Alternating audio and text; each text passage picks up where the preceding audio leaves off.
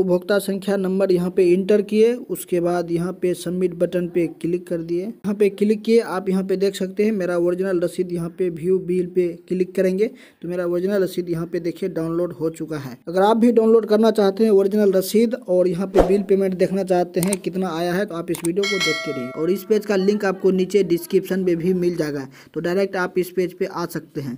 तो यहाँ पे आपको जूम करके हम आपको दिखा रहे हैं कौन सा ऑप्शन पे आपको क्लिक करना है, जो कि आपका बिजली बिल भी दिखा दे और पेमेंट ओरिजिनल रसीद भी आपका आ जाए, जो कि एड्रेस प्रूफ के तौर पे आप कहीं पे भी इसे उपयोग कर सकते हैं।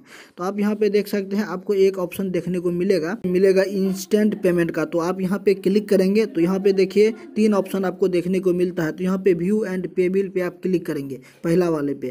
तो जैसे ही आप यहाँ पे क्लिक करेंगे तो यहाँ पे आपको बोला जाएगा, आपका जो है उपभोक्ता संख्या डाले, यानी कि कंज्यूमर नंबर डाले। अगर आपके पास कंज्यूमर नंबर नहीं है तो मैं आपको बताऊँगा किस तरीके से आप निकाल सकते हैं कंज्यूमर नंबर तो यहाँ पे आप क्लिक करेंगे, ये आपको कंज्यूमर नंबर बिजली बिल, अगर आप कभी भी किसी के द्वारा भी आप निकलवाए होंगे, ये आपको सी नंबर मिल जाएगा, वही होता है उपभोक्ता संख्या। तो आप यहाँ पे उपभोक्ता संख्या डाल देंगे, उसके बाद सबमिट बटन पे क्लिक कर देंगे।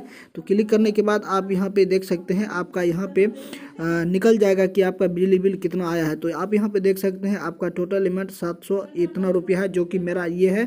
आप यहाँ पे स्क्रीन पे देख रहे हैं, यहाँ पे आपको यहाँ पे दिखा दिया जाएगा। डाउनलोड करना चाहते हैं, आप इसको थोड़ा सा इधर बैक करेंगे, आप यहाँ पे देख सकते हैं, एक ऑप्शन आपको मिलेगा व्यू पे बिल का।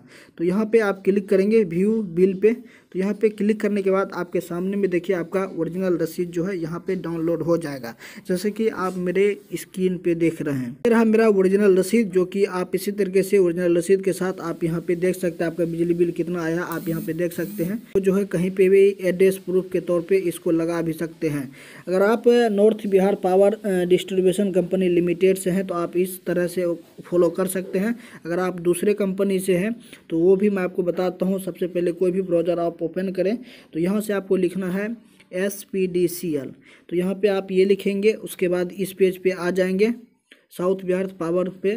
तो इसका भी लिंक आपको नीचे डिस्क्रिप्शन में मिल जाएगा, सेम प्रोसेस आपको वही करना पड़ेगा। यहाँ पे इंस्टेंट पेमेंट पे आपको क्लिक करना है, यहाँ पे उसके बाद व्यू एंड पे बिल पे क्लिक करना है। क्लिक करने के बाद आप यहाँ पे उपभोक्ता संख्या यहाँ पे इंटर करेंगे।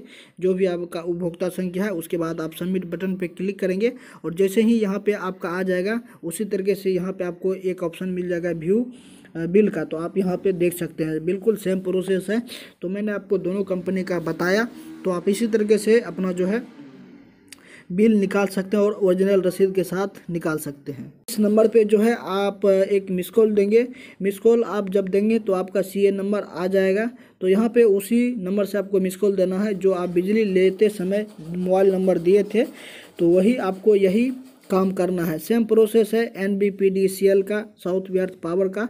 अगर आप अदर स्टेट से हैं तो उस पर भी मैं वीडियो बना दूँगा। आप प्लीज़ मुझे कमेंट करें।